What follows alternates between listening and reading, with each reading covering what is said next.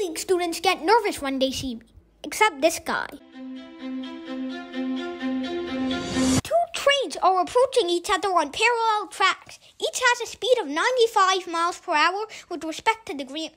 They are initially in 8.5 miles apart. How long will it be before they reach each other? So distance divided by speed, and that's what how we're going to get time. And so, what's the distance between the two? Distance is 8.5 miles, Yep. and the speed is 190 miles per hour. That's the relative velocity. And so 8.5 over 190 is your answer. Uh, hours.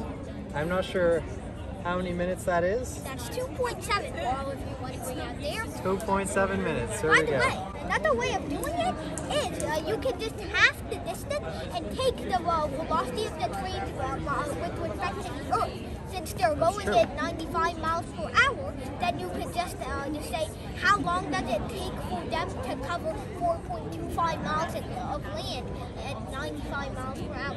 That's true. And since you're dividing velocity by distance, halving the distance and doubling the velocity do the same thing, right?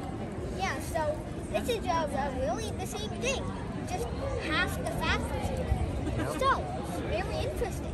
Thanks. Sure thing, buddy. Get nervous when you see me. And please don't run. Subscribe to Bari Science Lab to fall in love with math and science, especially programming.